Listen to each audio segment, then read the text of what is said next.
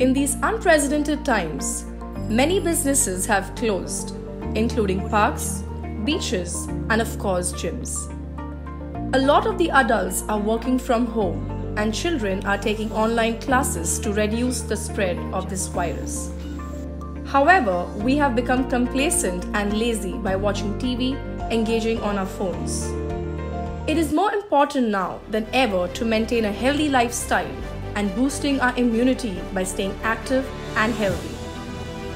We can stay active in our homes with simple exercises.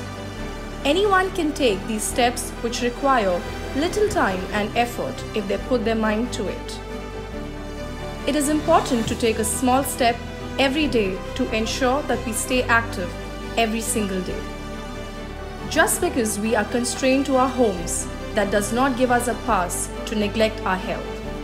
If you can feel it, you can do it.